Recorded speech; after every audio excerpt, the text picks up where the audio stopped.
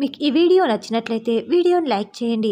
ఆయనకి నిజం తెలిసినా చెప్పలేదు అనిపిస్తోంది అని ఆరు అనడంతో అవునక్క నాకు కూడా అదే అనిపించింది అని బాగి అంటుంది.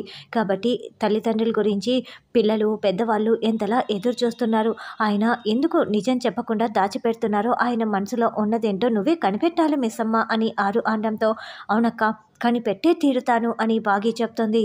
తర్వాత రణవీర్ లాయర్ ఇద్దరు కారులో వెళ్తూ ఉంటే మనోహరి వాళ్ళ కారుకి తన కార్ని అడ్డుగా పెట్టి ఆపి పడేస్తుంది.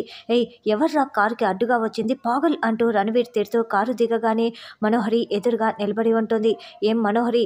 బ్రతుకు మీద ఆశ లేదా చావాలని అంత ఆశగా ఉందా? నాకే ఇలా ఎదురు వచ్చి నిలబడుతున్నావు అని రణవీర్ అరుస్తూ ఉండటంతో ఏం కావాలి నీకు? ఏం కావాలో చెప్పు. ఎందుకు నన్ను ఇలా హింస పెడుతున్నావు? నాకు నీపై ప్రేమ లేదు. నీతో జీవితం గడపాలన్న ఆశ లేదు. అసలు ఆ ఇంట్లో ఉండటమే నాకు ఇష్టం లేదు. నేను నా పాటికి నేను వచ్చేస్తూ ఉంటే ఎందుకు నన్ను ఇలా వెంట పడుతూ నరకం చూపిస్తున్నావు? అని మనోహరి నిలదీస్తూ ఉంటుంది. నాకు దుర్గ కావాలి దుర్గతో గడపలేని క్షణాలు నాకు కావాలి వాటినన్నిటినీ నువ్వు తిరిగి తీసుకురాగలవా? నాకు తక్షణమే దుర్గ కావాలి దుర్గతో నాకు జీవితం గడపాలని ఉంది అని రణవీర్ చెప్తూ ఉంటాడు. నేను పాత రణవీర్ని అయి ఉంటే ఈ పాటికి నీ ప్రాణాలు ఎప్పుడో తీసేసి ఉండేవాణ్ణి. కానీ నాకు కావాల్సింది నీ ప్రాణం కాదు నా దుర్గ కావాలి నా దుర్గన్ నాకు అప్పచెప్పు మనోహరి అని ఒక్కసారిగా రణవీర్ మనోహరి ముందు మోకరిల్లి చేతులు చాచి నా కూతుర్ని నాకు అప్పచెప్పు మనోహరి. నేను నీ ప్రాణానికి బదులుగా నా దుర్గన్ నాకు అప్పచెప్పావనుకో నేను నిన్ను ప్రాణాలతో వదిలేస్తాను. నీ నీడ కూడా నీ మాట కూడా వినపడినంత దూరంగా నేను నా కూతుర్ని నా కూతురు దుర్గని తీసుకువెళ్ళిపోతాను. దయచేసి నా కూతుర్ని నాకు అప్పచెప్పు మనోహరి అప్పచెప్పు. ఇక నీకెప్పుడు కనపడము నేను నా దుర్గ అని రణవీర్ చెప్తూ ఉంటాడు. నేను ఒక్కసారిగా దుర్గని నీకు ఇచ్చేసానే అనుకో ఇంకేమైనా ఉందా? నువ్వు ఖచ్చితంగా నా ప్రాణాలు తీసేస్తావు. అయినా దుర్గా ఎక్కడ ఉందో నాకు తెలిస్తే కదా తెలుసున్నా బాగుండేది. అమర్ని నేను పెళ్ళి చేసుకునేంత వరకు ఒకవేళ దుర్గ నాకు కనపడినా నీకు అప్పచెప్పకూడదు. అసలు అది ఎక్కడ ఉందో నాకేం తెలుసు అని మనోహరి మనసులో అనుకుంటూ ఉంటుంది. నేను నిన్ను నమ్మి నీ కూతుర్ని ఎలా అప్పచెప్తాను రణవీర్ నీ కూతుర్ని అప్పచెప్పిన మరుక్షణం నువ్వు నా ప్రాణాలు తీసేస్తావు. నాకు ఆ మాత్రం తెలీదా నీ గురించి అని అలా తెలిసి తెలిసి నేను ఎలా అప్పచెప్తాను అని మనోహరి అంటుంది. ఏయ్ మనోహరి ఇన్నిసార్లు దుర్గ గురించి మాట్లాడుతున్నావు ఒక్కసారైనా నా కూతురు అని అనాలని నీకు లేదా అని రణవీర్ అంటాడు. లేదు అసలు ఎందుకంటే మన పెళ్ళే ఒక తప్పు.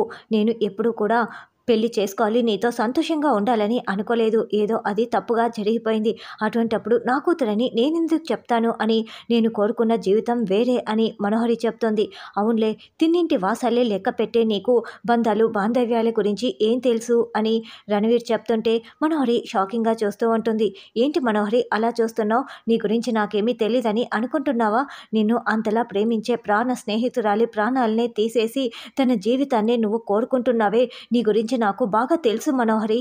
నువ్వేం చేస్తున్నావో అన్నీ నాకు తెలుసు అని రణవీర్ అంటే ఏయ్ నీకు ఈ విషయం ఎలా తెలుసు అని మనోహరి ప్రశ్నిస్తూ ఉంటుంది. నేను నిన్ను ఒంటరిగా వదిలేశానంటే పూర్తిగా నా కనుసైగల్లోనే ఉన్నావని మనోహరి అర్థం. అయినా అమర్ భార్య చనిపోతే మళ్ళీ అమర్ నిన్ను పెళ్ళి చేసుకొని నిన్ను తన జీవితంలోకి ఆహ్వానిస్తాడని నువ్వు ఎలా అనుకుంటున్నావు? అతని ప్రేమను చూసిన నువ్వు అతని ప్రేమ చావుతో ఆగిపోతుందని నువ్వు ఎలా అనుకుంటున్నావు అని రణవీర్ నిలదీస్తూ ఉంటే ఆగిపోవాలి ఆగిపోయేలా నేను చేస్తాను. నాకు కావాల్సింది నేను అనుకున్నది సాధించుకునే తీరుతాను అని మనోహరి అంటుంది. అవన్నీ నాకు అనవసరం మనోహరి.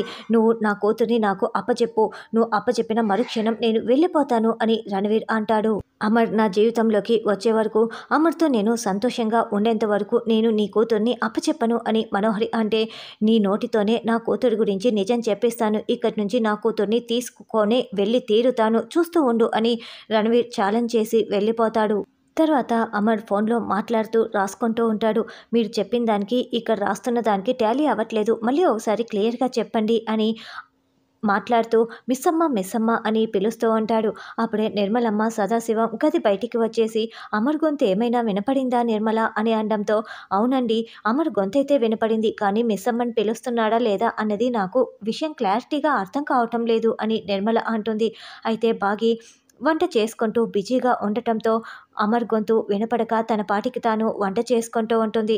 మిస్సమ్మ మిస్సమ్మ అని పిలుస్తున్న అమర్ ఒక్కసారిగా బాగి బాగి అని పిలవటంతో బాగి చాలా సంతోషపడిపోతూ అక్కడి నుంచి పరుగులు పెడుతూ వస్తూ ఉంటుంది.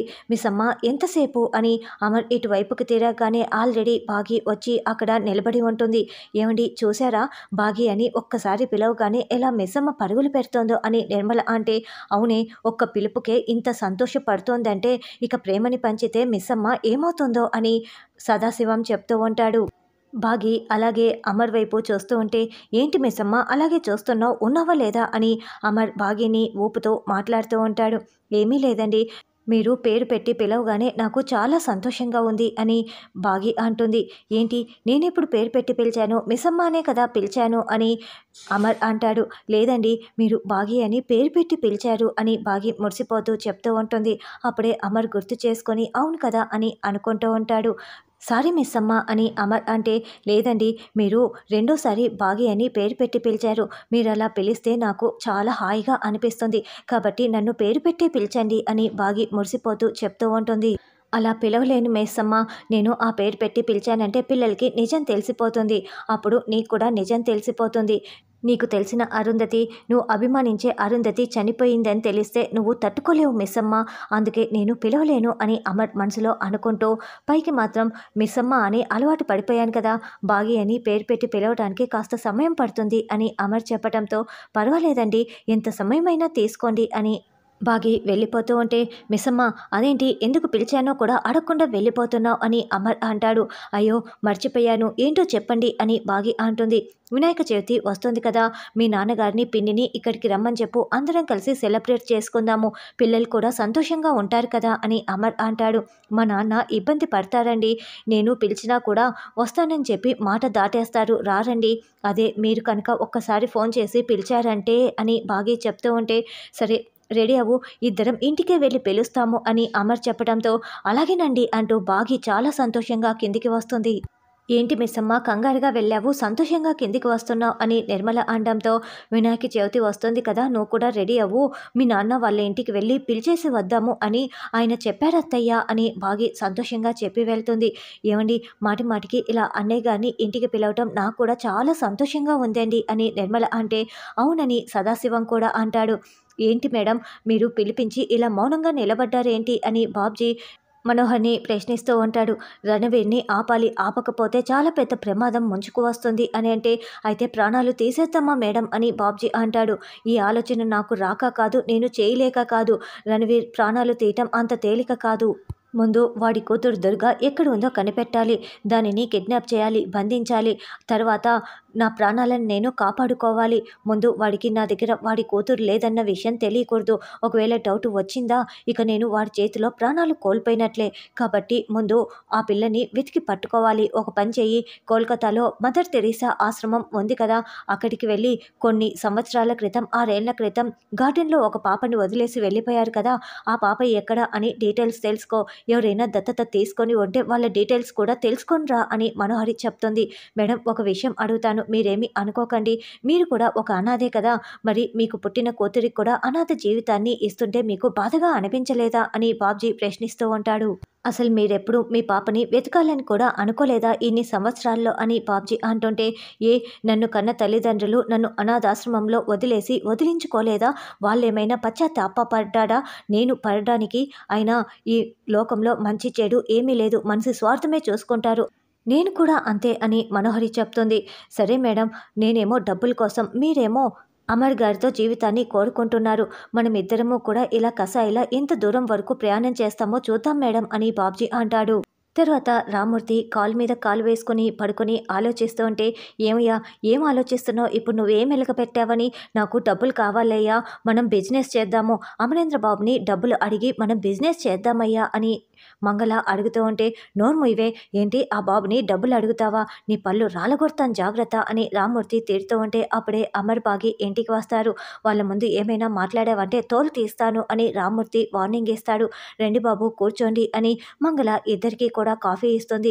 ఏంటి బాబు ఇలా వచ్చారు? ఏదైనా పనా? అని రామ్మూర్తి అడుగుతూ ఉంటే వినాయక చవితి వస్తుంది కదా మీరిద్దరూ కూడా మా ఇంటికి రావాలి.